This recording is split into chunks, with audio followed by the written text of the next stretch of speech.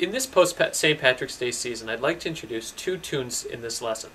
First off, we have the Irish Jig. Now, for any of you who spent a night in the bar on St. Patrick's Day, and I can't imagine that any of you would have, you probably saw someone who had maybe consumed a pint of Guinness, maybe more, dancing around with a hand on the hip and one on the head, looking like Michael Flatley doing a Mexican hat dance. I can't teach the dancing, but I can teach you a, a traditional Irish jig, one that's really common.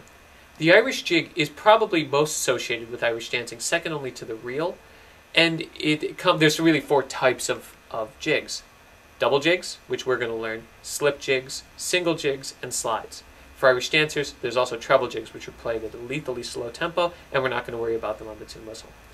Today I'm going to introduce the tune Saddle the Pony.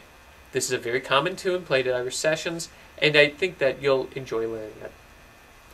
The tune is in the key of G, so remember the C's are going to be natural. I'm going to play the tune one time through slowly, and then I'll play it again a little bit more up to tempo with some variation.